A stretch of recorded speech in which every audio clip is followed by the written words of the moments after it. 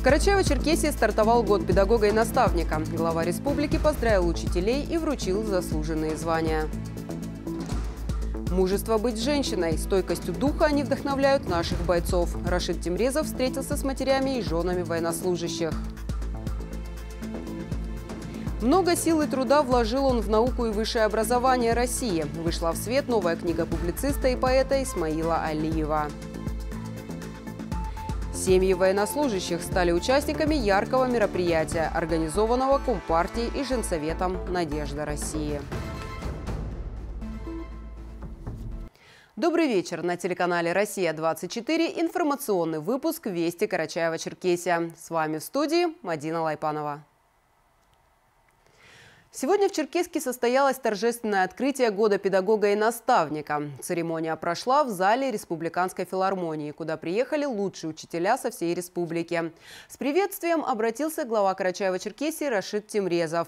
Во все времена учитель выполнял сложнейшую миссию на земле, посвящая свою жизнь благородному и трудному делу – обучению и воспитанию подрастающего поколения, отметил руководитель региона.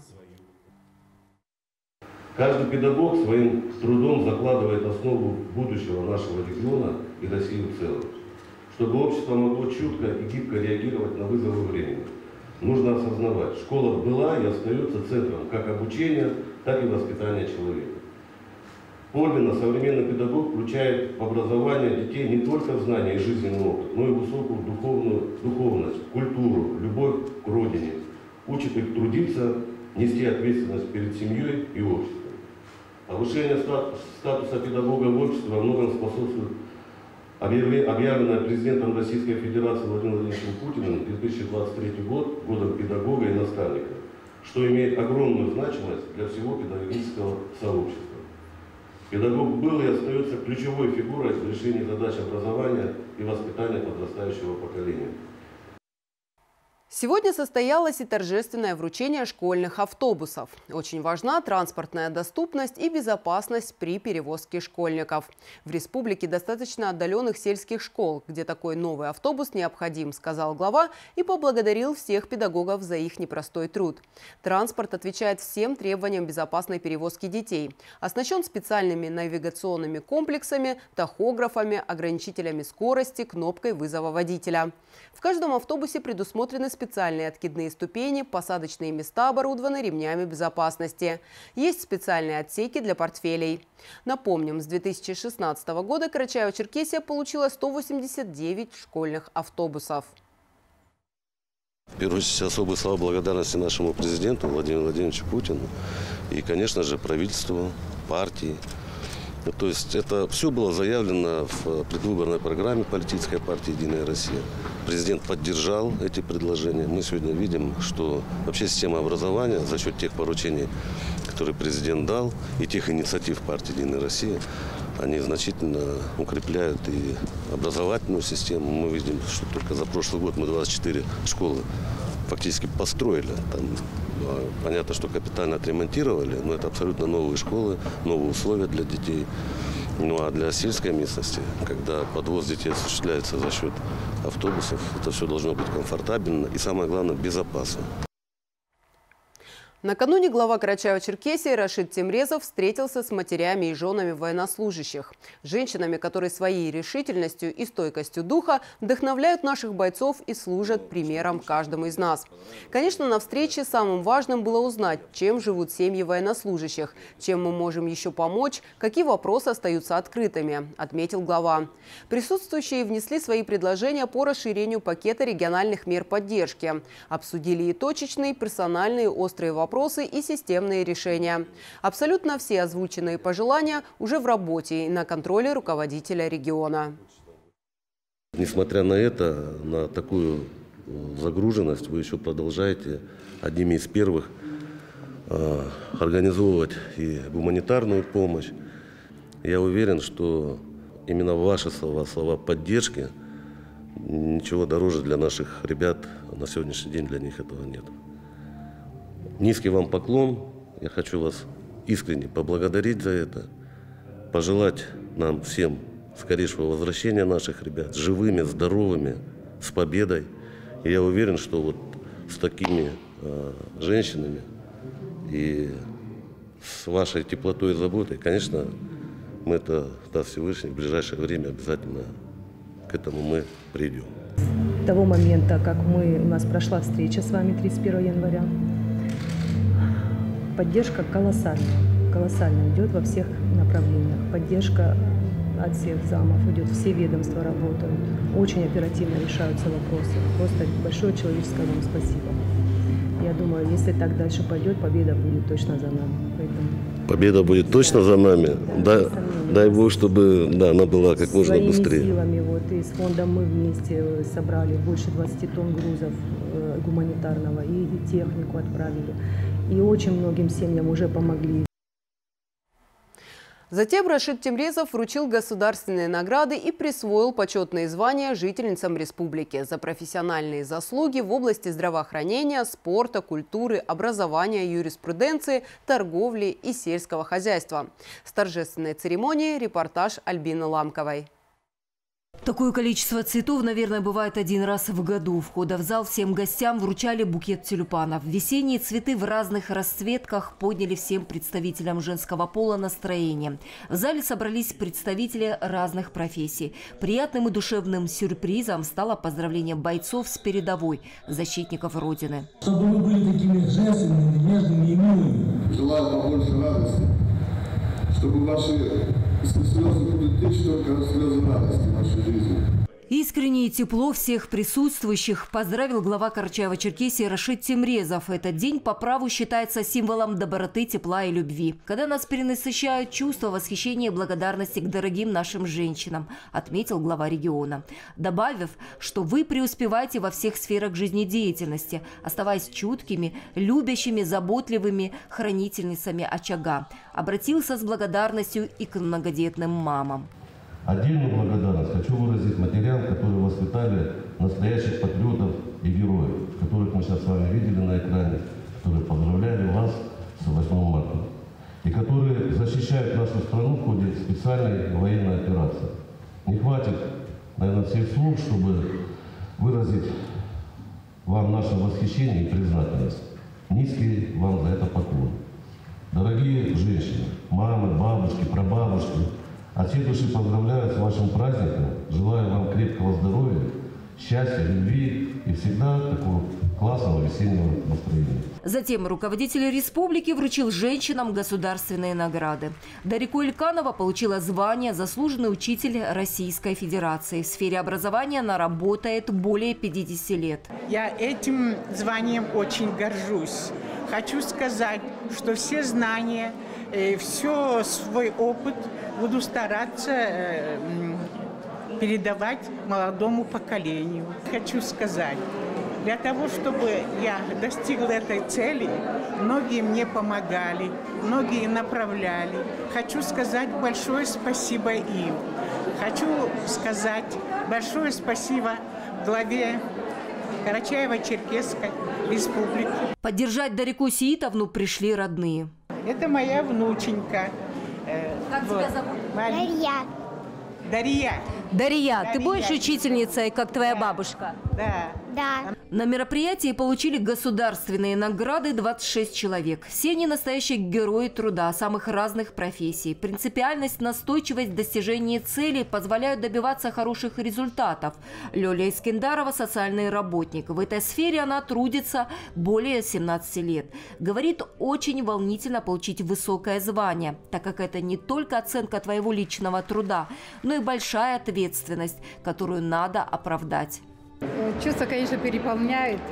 Мне очень приятно находиться здесь. Спасибо большое всем, кто э, за меня ходатайствовал, э, моим коллегам, министру Руслану Айсовичу Шакову, всем, всем моим девочкам отдела. Зал был наполнен атмосферой весеннего настроения, улыбками и радостью зрителей. Праздник прошел на веселой и позитивной волне. Яркой частью торжества стали вокальные хореографические номера, исполненные артистами нашей республики. Дарите женщинам цветы, дарите женщинам улыбки, дарите женщинам стихи. Альбина Ламкова, Либо Станов, Вести, Карачаева-Черкесия. Увидела свет новая книга известного общественно-политического и государственного деятеля, публициста и поэта, первого в истории Карачая ученого-электротехника Исмаила Алиева.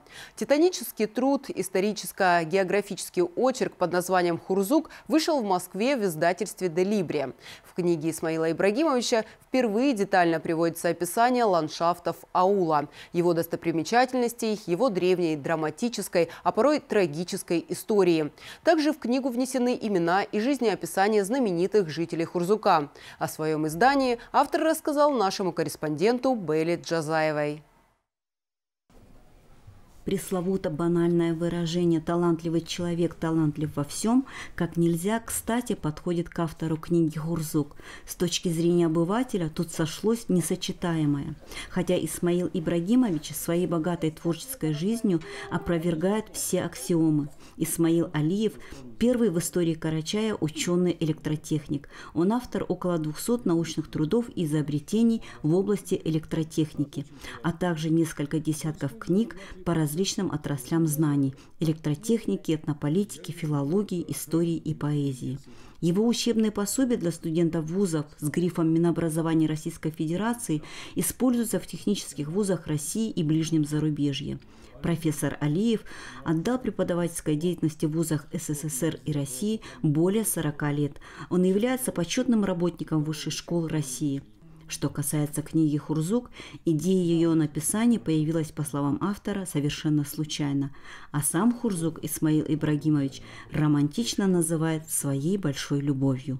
Хурзук – это моя самая большая любовь из всех населенных пунктов, начиная от Москвы, где я жил 25 лет, и кончая вот Черкесском, где я тоже очень был.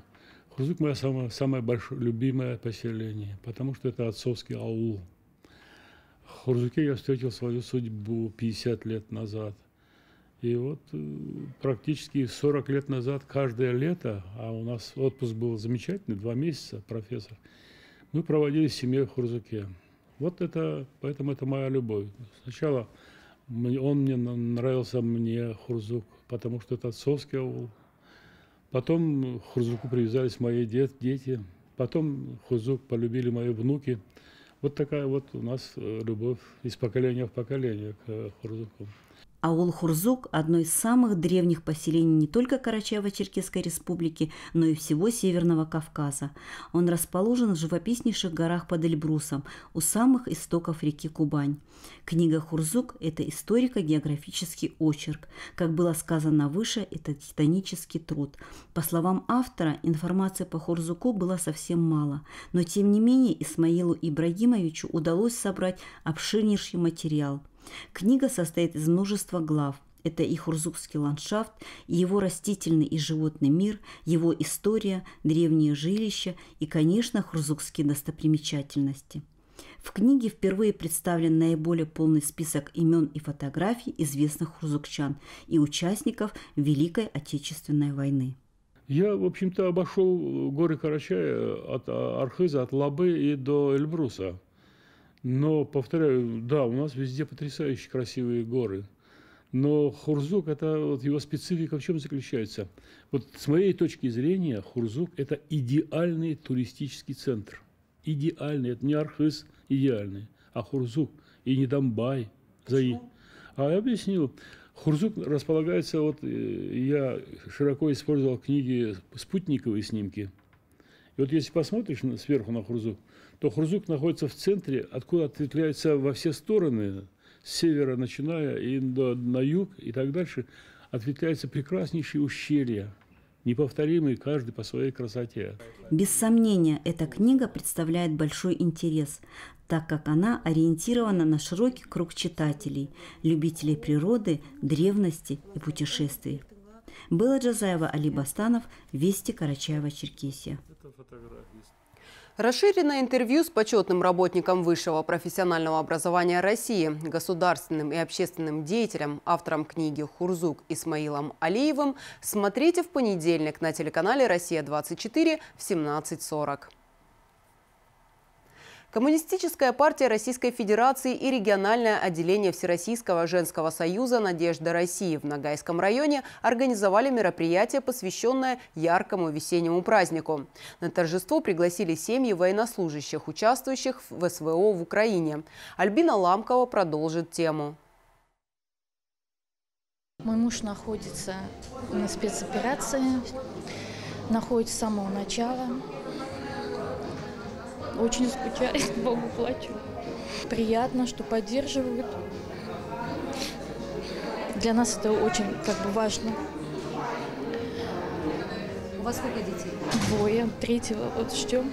Сегодня в жизни современной женщины много изменилось. Их сыновья, мужья – истинные патриоты своего отечества, готовые всегда встать на защиту Родины. В этот момент невозможно словами описать то, что переживает сердце матери, жены, любимой женщины в тревоге за своих близких.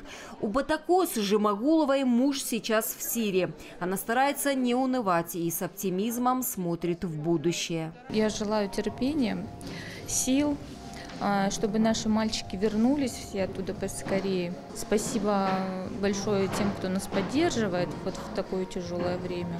Родственники военнослужащих поблагодарили гостей за оказываемую поддержку и внимание, а также всех неравнодушных жителей республики, которые вносят благотворительные взносы. В свою очередь, со словами глубокого уважения и признательности к матерям и супругам обратились и организаторы мероприятия.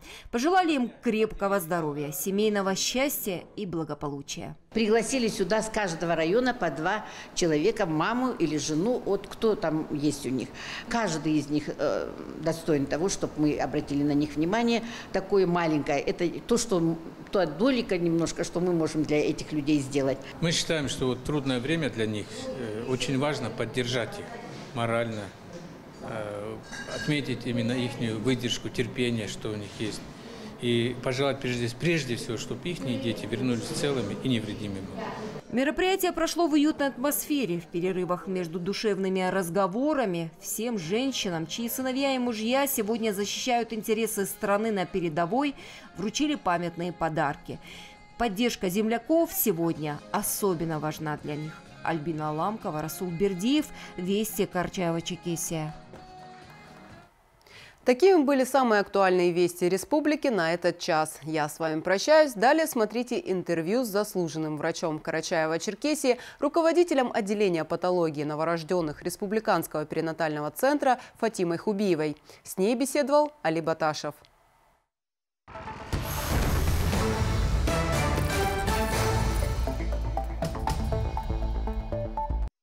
Фатима Магомедовна, с 6 по 12 марта проходит неделя здоровья матери и ребенка. Расскажите, какую работу проводит отделение новорожденных? Отделение патологии новорожденных и недоношенных детей при Республиканском перинатальном центре – это единственное отделение, куда переводятся дети со всех родильных отделений республики и с отделения реанимации новорожденных, реанимации и интенсивной терапии новорожденных и недоношенных детей. Также в этом отделении, в отделении патологии новорожденных и второго этапа выхаживания недоношенных детей, как само название говорит, мы выхаживаем недоношенных детей, родившихся также в родильных отделениях и переведенных также из отделения неонатальной реанимации. Мы выхаживаем их до Э, состояние, когда можно выписать их, пациентировать и э, выписывать домой. Но поступают к нам еще по направлению участковых э, врачей, тоже к нам поступают новорожденные недоношенные дети, за исключением тех детей, у которых инфекционная патология, то есть воздушно-капельная респираторная инфекция. Таких детей сюда принимать нельзя, здесь акушерский стационар.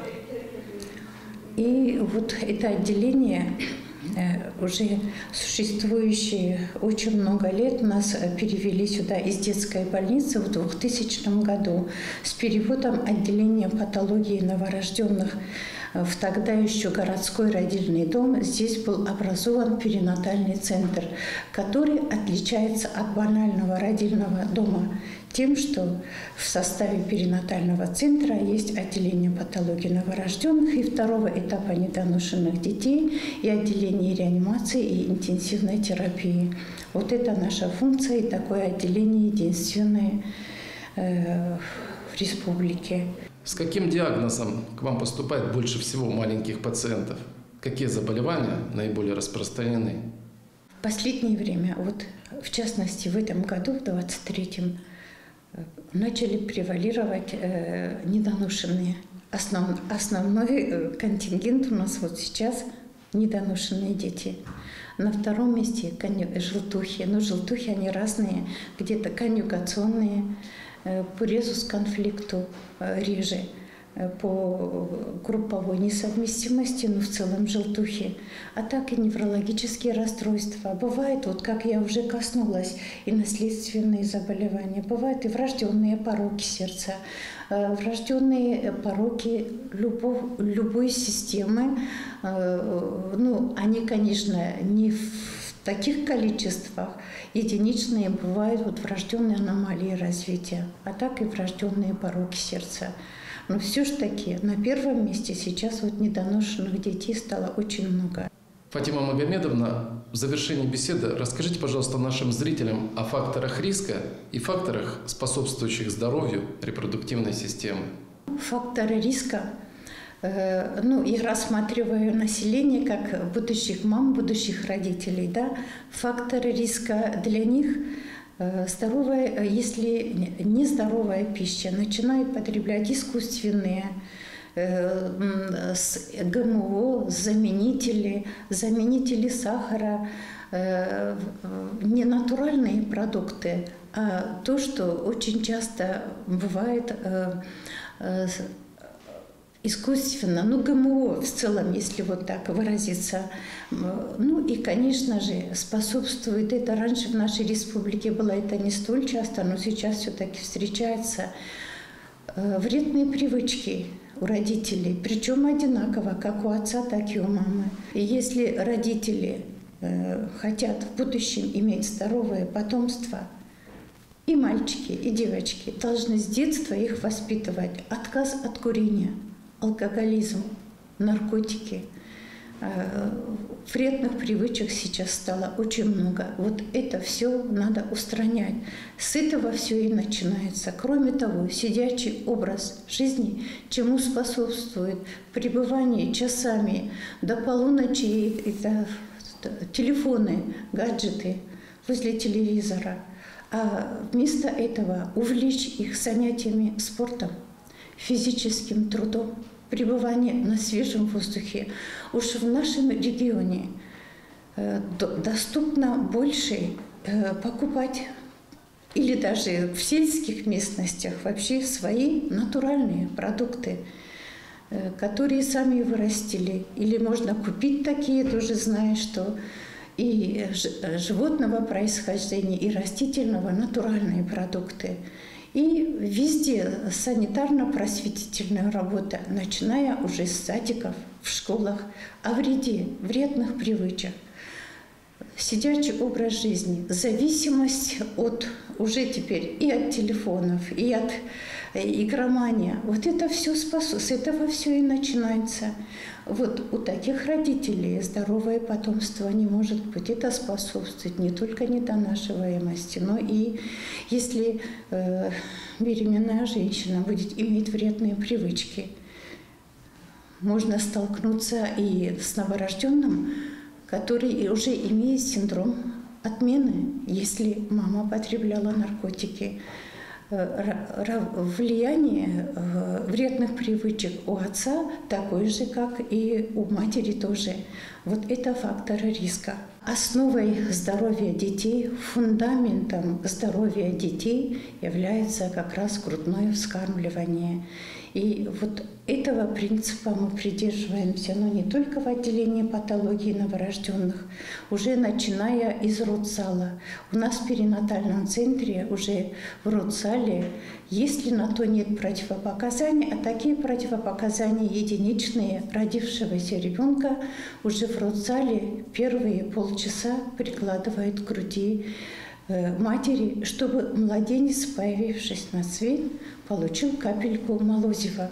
Молозиво – самая ценная часть грудного молока, которая содержит антитела от всех практически заболеваний, Э, которые перенесла в свое время мама, и э, у нее антитела, и в результате вакцинации за э, время ее э, до, вот за, э, начиная с детства, какую вакцинацию она получала, и иммуноглобулины, антитела, витамины, вот это в капельке грудного молока.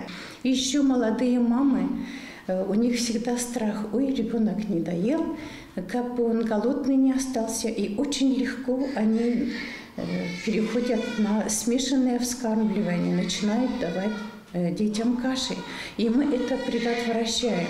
Мы их учим вместо того, чтобы давать искусственную кашу, чаще прикладывать э, ребеночка к груди, что само по себе уже увеличивает выработку молока.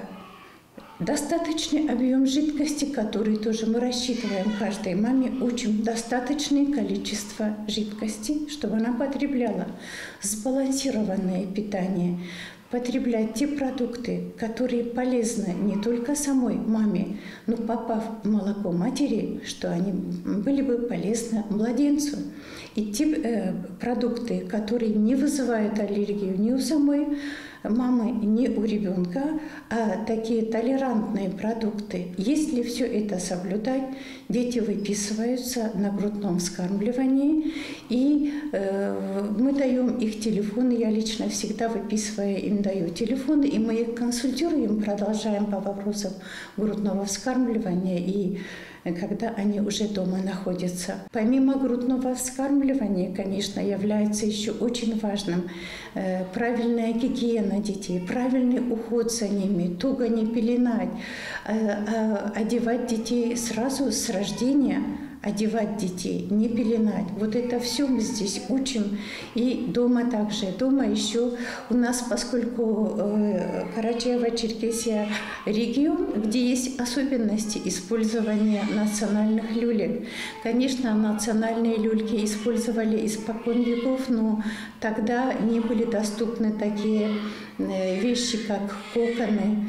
Э, но не все было изучено в медицине. И, э, вы знаете, в люльках очень часто синдром внезапной смерти, к сожалению, такие случаи и по сей день бывают в аулах, в селах. И мы здесь буквально я во время каждого обхода учу матерей этому и выписываю в рекомендациях говорю, а дальше мы, э, если бывают какие-то затруднения у них, э, выписавшись домой, все же таки настоятельно рекомендуют национальные люльки, тоже приходится беседовать э, в семьях. Касаемо вакцинации тоже приходится проводить работу. Вот мы, в частности, в нашем отделении, кабинет БЦЖ у нас – мы, когда выхаживаем недоношенных детей, лечим патологию у новорожденных детей, и уже ребенок здоровый и не имеет права типа показаний, мы э, проводим им вакцинацию БЦЖ.